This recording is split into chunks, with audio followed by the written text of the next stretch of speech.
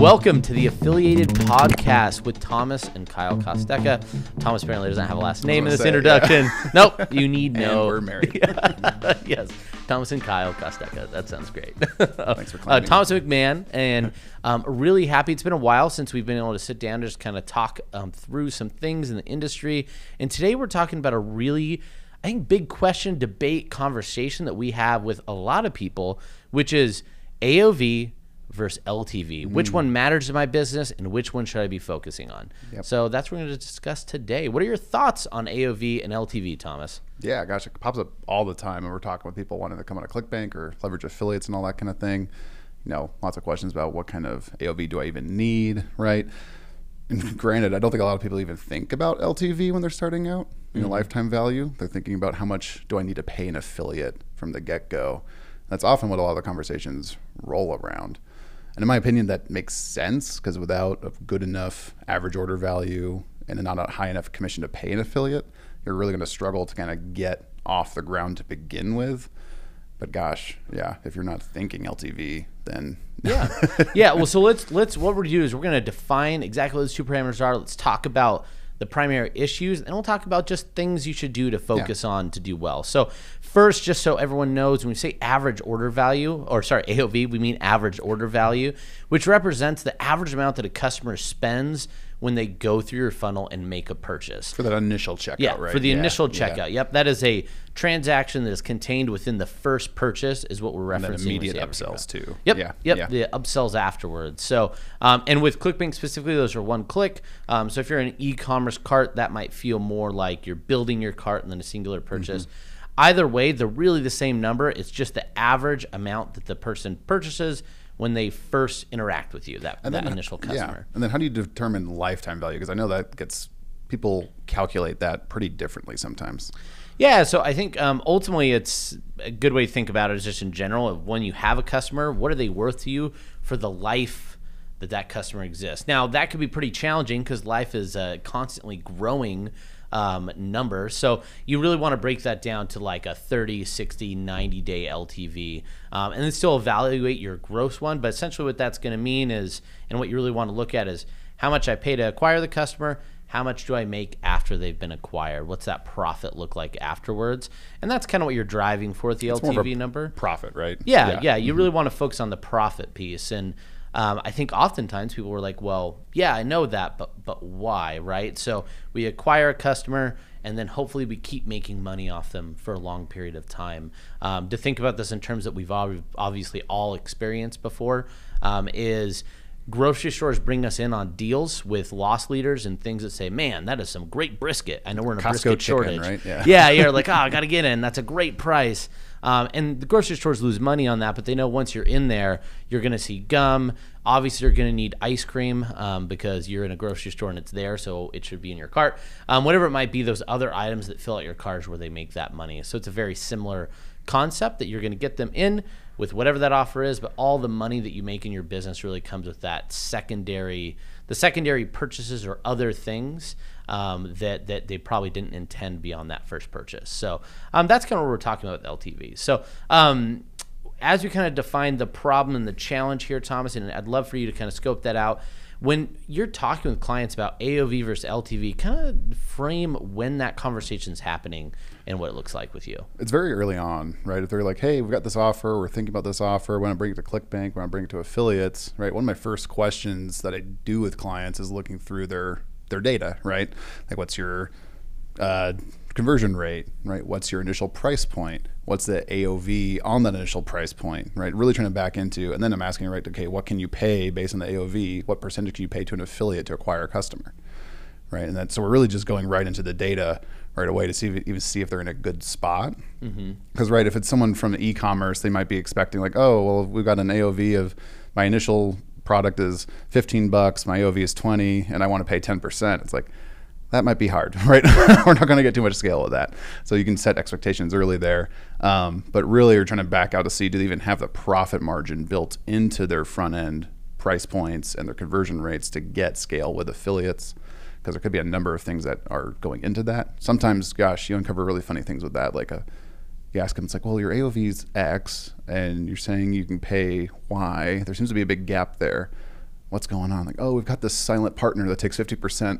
it's like, and they need the guaranteed payout of Y. It's like, oh, okay. Yeah. Right. So it's figuring Yeah. out all those little things. Well, let's dial that back a little bit because you're right. Like ultimately, the AOV, and just to recap what you're seeing there, the AOV essentially the the larger that is on the initial purchase, the more that you could pay to acquire the customer, whether that's to affiliates, whether it's in paid media. And you mentioned like that's what's going to measure scale. And it's really important to know the more you could pay to acquire a customer, the more you could scale to more customers. So Yeah. um, oftentimes I hear people focus on like, hey, I want my CPA with traffic to be really low, or we want to lower, a, you know, offer a lower commission percentage. Don't whatever we it all? might be. Don't we all? Yeah, Yeah. it'd be great, right? but that's going to inhibit your scale, and I think that's a common friction point because people are thinking margin on the front end versus margin in the back end, which is really an LTV focus for the latter versus the former, which is just that AOV mindset, and that's where I'm making my money off the AOV.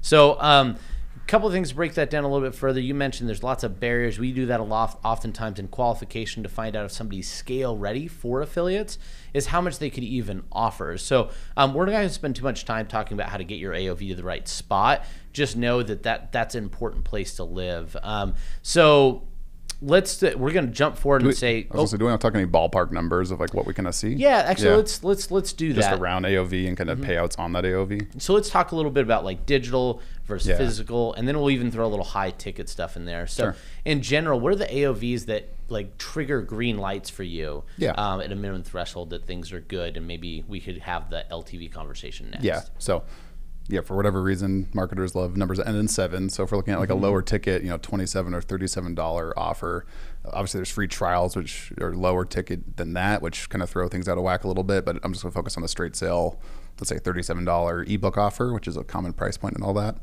The AOV on those for scale, the ones I see are probably in the fifty-five to sixty dollar range. Right, they're getting another fifty percent kind of on that gross ticket, if you will, from the initial sell. Would you? Is Yep. that what you kind of see? Yeah, yeah, 50, 60 for digital offers, and then, then that conversion yeah. rate needs to be around two and a half. Yeah, normally. yeah. And the payouts on that are probably at least seventy five percent, Mm-hmm. and then a lot of affiliates are probably getting more than that at scale for those kinds of offers. Yeah, yeah. I mean, that's where you see sometimes ninety percent, and at the high end even hundred sometimes. Yeah, right. They're just gonna those types of funnels. pay to build. They're essentially paying to build a list, right? And then LTV comes later. Right? Mm-hmm. Yeah, yeah, That's we'll, what we'll I'll get into, cover yeah. that. Yeah, so Yeah. so digital really in that fifty to sixty dollar range. And one thing I always like to tell people too is you mentioned the free trials.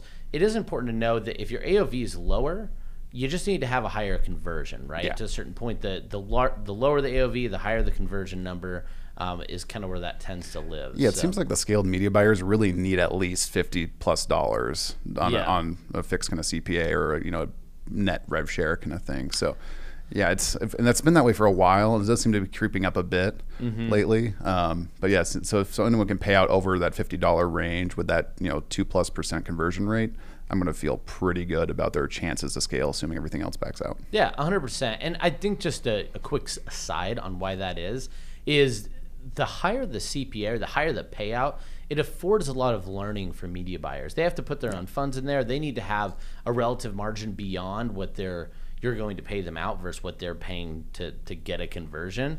Um, so so they need some learning in there. They need some time to try and test and fail. Um, and if you just don't have a large enough CPA for that, it's really challenging Yeah. to go and test and get an offer to scale um, at such a low payout level. So just just wanted to mention why that might be, why media buyers don't want your offer that's only paying out thirty dollars in most situations, because historically that doesn't give them enough room. Yeah, usually the conversion rates aren't that much higher to Yeah. justify that lower percentage. Yeah, I mean, if you have a unicorn offer that you know maybe pays out low but converts like six percent to cold Sure, traffic, yeah. sure, great, Right. yeah.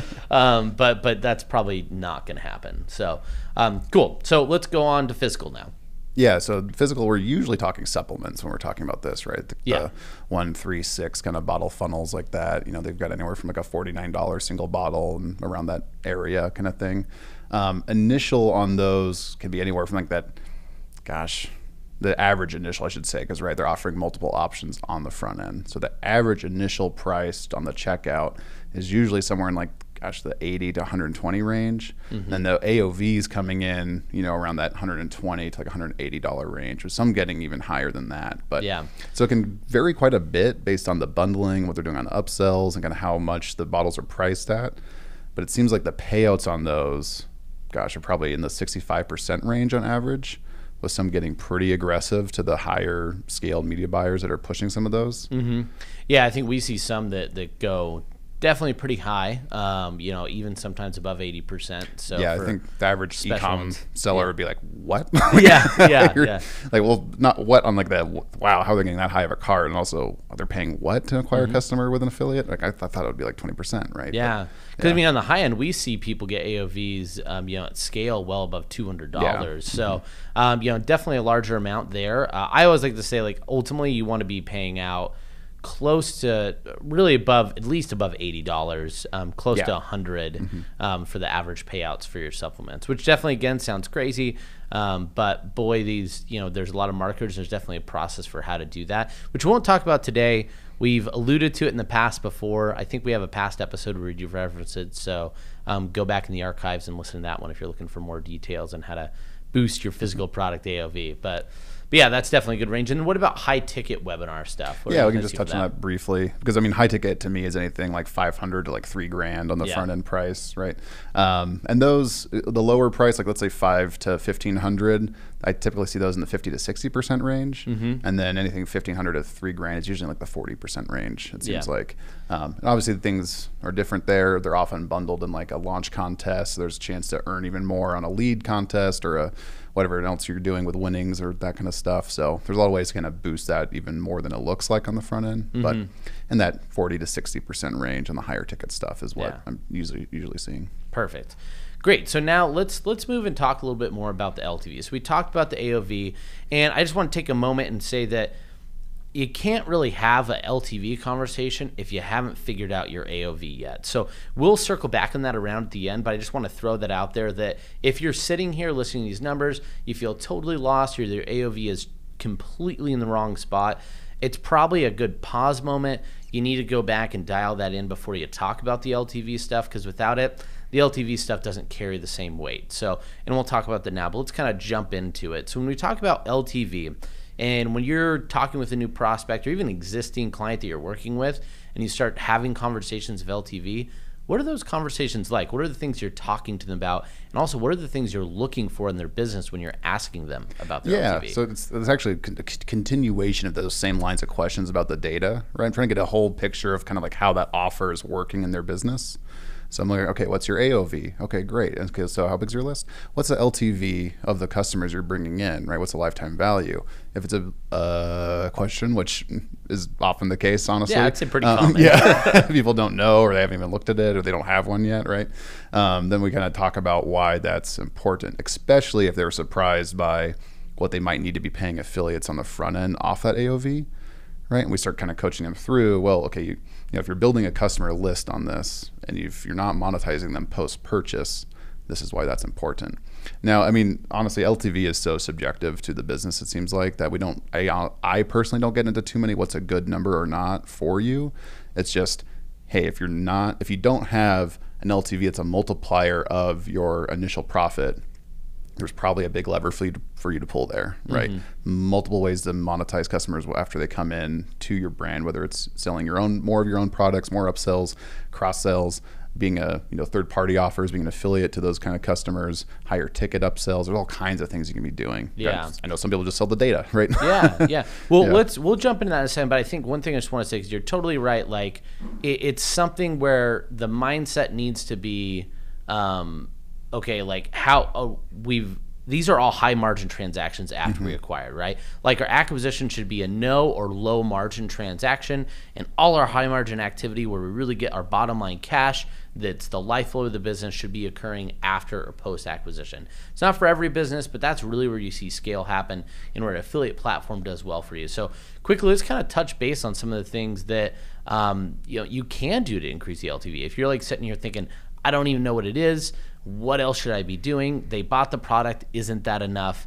Um, no, that's it's just Especially if you're a new marketer, right? You might Yeah. not have multiple products to sell Yeah. them. You know, might not have higher ticket items to Yeah. upsell them to, you know, th- 14 days later, right? So it's like, Yeah. Yeah. So yeah, let's jump into that piece. I, I think the biggest and first one that everyone should be doing is email monetization, whether that's internal, external, but they need to be getting those emails, retargeting primarily through third party offers that align with your brand or align with your pocketbook. Hopefully both. that's the ideal situation. Um, but making sure you start doing that. So, what are your conversations like when you talk to people about monetizing through email and that LTV? Yeah, it's really asking what are you doing with the customer after they purchase, right? And like most people, oh, we're making sure they get the product. Okay, great, right? Like obviously focus on that, and the, the product delivery is good, and customer experience is good, and then it's really diving into are they comfortable mailing third-party offers as an affiliate, like them being the affiliate. If they're not, why is that, right? Yeah. They, they, oh, we want to protect our brand identity. It's like okay, well, it's like, do you think you could do that? If if you don't have other products to sell, you're going to be really tied to that front end profit margin, which really hurts your ability to scale. Mm-hmm. Right? We we all know the brands, right? They can pay and go negative for six months, and they're some of the biggest scaled brands we know of in the space, right? Mm-hmm. Because they can pay out aggressively to acquire the customer on the front end, and then they're going to monetize for the lifetime. Mm-hmm. So it's really just unearthing, like, okay, what's the friction point for you on not mailing if you're not currently doing it? And sometimes it's just like, oh, we just don't know how. Yep. Right. And then it's connecting them to maybe a good list manager who can kind of help come in and they'll take a percentage, right, um, of the profits they generate for you, but they'll do it for you and take it off your plate or something like that. Yeah. Or getting them to a course if they want to do it themselves or something. Yeah, yeah, and I think email. One of the powerful things there is is first it's it's straight to your bottom line. So if you run a third party offer, what's your cost on sending email? It's practically nothing, um, and you're just getting cash right into your account um, for those commissions, whatever you're promoting. So super super high, again high margin transactions. And you have to remember too, they just bought from you, so they're showing themselves to be buyers. So it really is kind of the the easiest first step um, but obviously not the only step. And you're right, you run into some issues where they don't know how, or sometimes they're concerns about brands. There's a lot of ways around that. You just need to invite, you know, don't don't take away quick, easy, good money um, that can very much so benefit your consumer base as well. So Right, that's you can still add great one. value, right? I think Yeah. people are worried about maybe squeezing the customer too much or something, but Yeah. Well, let's talk. Another one that you mentioned that I think a lot of people don't always think about is the idea of the value ladder or the the ascension plan into the buyer. So talk a little bit more about that. You've acquired a customer. What do you kind of see from boosting LTV, not necessarily through, we'll say cross selling, but the ascension into something bigger? Yeah, I mean that's. I mean honestly, you can probably speak to this better than me in your you know previous role, kind of working at ClickBank. But I'll just take a stab at it. Um, you know, a lot of that really depends on what they bought on the front end, right? Is that did they buy something that's very entry level to whatever pain point they're solving for? Let's say it's weight loss, right? Um, weight loss is a great example because it's so big and scaled. But if they're buying a weight loss supplement or even just an ebook from you, they've just raised their hand for a pain point they have. They want to lose more weight. What can you do to serve that? right? I've seen a lot of people getting into like high ticket coaching, right? Where you know they might be charging a grand or two grand or a couple grand to like kind of coach someone, to get personal individual coaching through that and through their weight loss journey, uh, which probably makes them a lot more likely to actually lose the weight from your front end product and things like that. And right, there might be steps between. Right where it's, hey, do you want just group kind of coaching? Okay, maybe that's a couple hundred bucks. If you want private, you know, it's five grand, right? There's all kinds of ways to monetize and price this. Um, but what are those kind of like? How can you bring someone to their pain point, solve it faster, or some of those great ways to kind of monetize them post purchase? And then, right, it's kind of if you're not finding anything like that that you'd want to build, it's finding who's doing this really well that I could be an affiliate for. Yeah. Right, kind of, and then aligning people that way. Yeah, yeah, and so yeah, going that deeper, I think uh, one of the things that the biggest gap I see with this is evaluating and asking what more you can and want to give to the consumer base. So, you know, whatever you acquire on, it tends to be the broadest and lowest level. How do you get get someone from like a container of protein to come into your like wellness and um, spiritual retreat for 12 grand or 15 grand? Like how do you get there?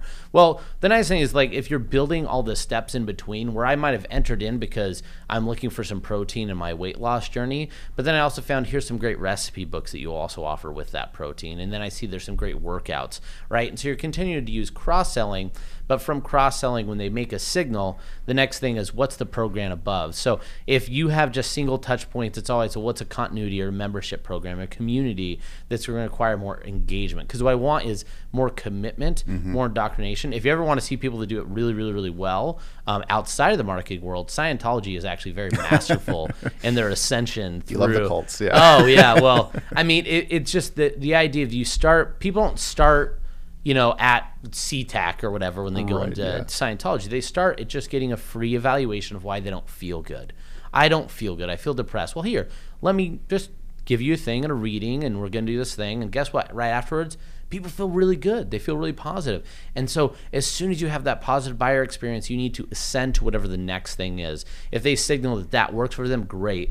We're going to give them another thing that's going to signal they're ready for the next level. And next thing you know, someone's spending um, a large amount of money on a high ticket. So we did a lot of study of this with um, um, going from okay, we had certain memberships group. We had a high ticket coaching program that was around twenty four ninety nine, um, and so finding and segmenting certain buyers to where we only were advertising this to our a certain select buyer group made not only our attendance really well, but the conversion was really high, um, and it made them more primed to actually take the offer. So our conversion was really good, and it was really really profitable. Yeah. But a lot of it then was after we did that, it was okay. So this is this group. How do we then do more? What's the next thing that we could do to really provide value to them? So I think that's that's a big piece is just making sure what are those next steps that you could do. Yeah, it could just be more supplements, right? Yeah. Just bigger bundles of supplements that you just sold them, or whatever. You know, replace that with whatever you, you're selling. On the front Yeah, yeah. I think it's like bigger programs, right? So if I started with protein, like okay, well, what eventually let's talk about. Okay, you have your protein. Well, you need these ones, and now you need your whole body restoration kit. And maybe now it's like a cleanse for a 60 day time frame to Yeah. the new complete body, and it's got It's like that crazy uh, things in there, I know something like that. some friction points. People are like, "Oh, but I'm selling, you know, free trial. No one wants to buy higher ticket off a free trial, right?"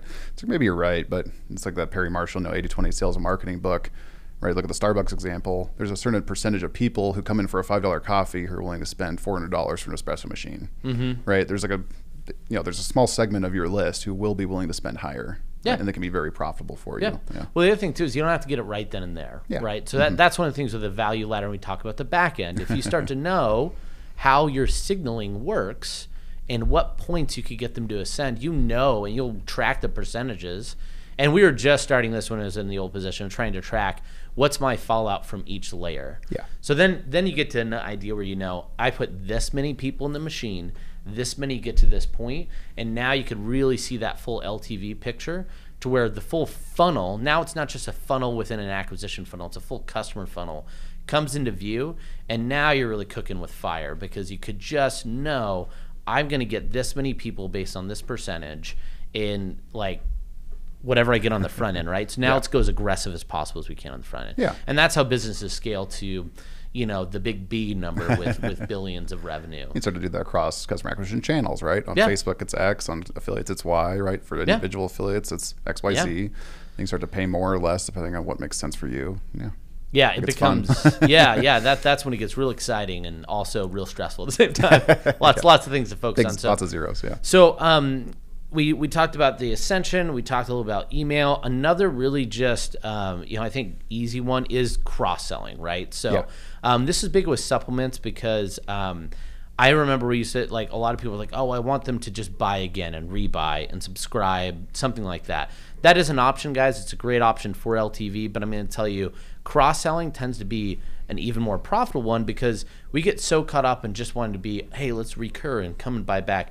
Don't necessarily be the same purchase over and over again because from human behavior, especially with supplements, we like to try a lot of different things. Mm-hmm. Like we want to test something out. It might work for a while, but there's less people that just do the same stuff all the time and more people that want to change and try variety. So don't necessarily focus on just being a reoccurring purchase in the rebuy. Just be the next purchase. They're going to buy something again. Be in that realm that you are the next purchase with your suite of SKUs and products Yeah. and things like that. You've already gotten equity built up, hopefully, because they liked your first product. Um, so sometimes it's less a focus on buying that one again and just continue to be the next purchase, wherever that might be. Yeah. Especially with supplements in particular. So Yeah, I love that. That's a great point. And then, yeah, last one is continuity. Um, getting some sort of uh, you know continuity program and, and things like that in there, which there's a lot of different ways to do that. We won't touch too much on that. That's just there's some really strong ways to boost the LTV. Yeah. Are there any other you know little maybe secret nuggets or No, I'd just say like if if you're just like, oh my gosh, I've got this list, I'm not doing enough with it, kind of thing. Um, you know, I think being an affiliate first is not just a great way to unlock more revenue, um, but it's a great way to test to see what your off uh, what your list and audience wants more of, right? Because it's like it might raise flags for you, like, oh, maybe I should build this offer that is converting really well to my list. That seems to be doing really well. I could bring that one in house, and that aligns with what I want to do, right? So it can be a great way to kind of test and figure out what you want to have your own high ticket thing to be or to cross sell. So it can just be a great like yeah research and development kind of way to kind of also earn income on. Definitely. That is a great tidbit. And you kind of alluded that earlier, but thanks for bringing that back home. So just to circle back, I think, um, you know, as we kind of covered, there's things you could do um, to obviously attack the, the LTV, but that requires your AOV to be set up to begin with. And then the reason you want to boost that is when you essentially are making all this money in the back end and you have that dialed in, it allows you to strengthen how much you could pay on the front end to get that we'll call it the acquisition machine churn, uh, machine churning and really giving a lot of sales. So um, just kind of I guess kick it back a little bit. Um, the last thing I want to think is we, we have a lot of people that might be sitting here thinking, okay, should I focus on LTV? Should I focus on AOV first? Um, what what's your thoughts there? What are you going to tell the people, Thomas, about what's most important between AOV and LTV in their business? Uh, if, I, if we're talking with someone who's new with an offer, my, I'm usually going to say AOV, right? Because that's what you need to kind of get off the ground as a decent AOV and conversion rate and payout and all that kind of stuff.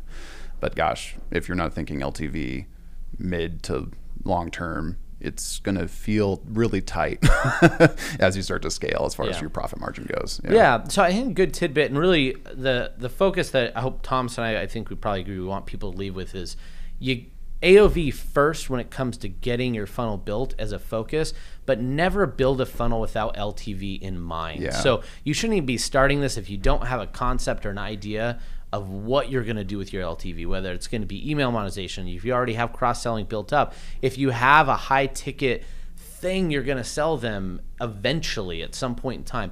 Have that plan in place. Now, it might not need to be dialed in and perfect and executing like a well oiled machine uh, before you have an acquisition funnel because you got to get the customers first. But it's just, it's a critical part of your business that you can't forget about. Um, and we see it too often where someone builds a great funnel, they never thought about the AOV. Or no, sorry, the, The LTV, LTV. and then next thing you know, they're like, "Well, hey, I had a successful offer. Why don't I have any money?" Or the, do you see people chasing AOV too much? Yeah. Like, oh, I need to pay an affiliate more. I need to get more of my AOV up so I can pay them more. It's like, well, really, if you just increase your LTV by X percent, which might be an easier lever to pull, Mm-hmm. because trying to increase, let's say, a $180 AOV might not be very doable for this funnel right now. Mm-hmm. Now you've just unlocked more margin to pay on your initial funnel without having to increase AOV. Right. So they- yeah. yeah. I think the good question is why are you acquiring more customers? Right. if you're doing it because you just you're like, oh no, like I'm making all my money on the front end, I need to get more. That's definitely a problem where, like you said, look at the LTV. If it's because you have your full LTV and your back end funnel all dialed in and precise, great. That's a good place to Yeah. be. um, you're probably not as worried about AOV, but you still could focus on that and, and boost it up. But yeah, you're right. People chase that because it is a bit of a mind, mindset flip from acquire, acquire, acquire to acquire and monetize. Yeah. Acquire and monetize. So don't forget to acquire and monetize. so, um, well, cool. Uh, Hopefully that's helpful for you guys when you have that question next time. AOV and LTV comes up. Make sure you have a plan for both. Make sure AOV is ready before you really put too much effort in your LTV. But remember, that's a huge profit center. If you're not focused there, you're definitely missing out. So um, be sure to subscribe, um, review, rate, do all the podcast things that you should be doing um, with the podcast. And be sure to mention in the comments other things you'd like us to discuss. Yeah. Um, and keep listening. We have some exciting interviews coming up. We're going to always have more content. Um, but especially as travel increases, I imagine we're going to be hearing new ideas and meeting new people and then sharing it with all of you. So thanks so much for being listeners. Um, Thomas, anything you want to leave with the people today? Yeah, I'll just say I got some. We've been getting some outreach from listeners and stuff, just saying thanks and yeah, asking questions. I just love that. So it's if you're listening to this right now and just want to say hi, hi, yeah, reach out to us. Yeah. ask any questions, Well, give us any feedback. You had a really good story too recently, just somebody that reached out to you, right? Oh yeah, someone reached out to the um, after the ship that ship offers podcast we did Tony and Josh. Someone reached out and was just like, "Oh my gosh, I've been a marketer for years. um, for other people's supplements, doing Facebook advertising. I didn't realize I could just do it myself and uh, just go white label, and make it really simple. So they're working with ship offers. They're coming out of ClickBank with a new offer, and we're gonna get rock and rolling here. So yeah, I just love that we can add value. And if anyone else has stories like that, we'd love to hear it because Yeah. yeah, we're kind of putting our voices into the void and love to see if the void's listening. So yes, it's good to know that the things that we feel bring value are bringing value to the Yeah. audience. So keep enjoying, keep making money. And what's the tagline that you normally say when we leave, Thomas? happy scaling. Happy scaling. Perfect, guys. Have a great one. Bye.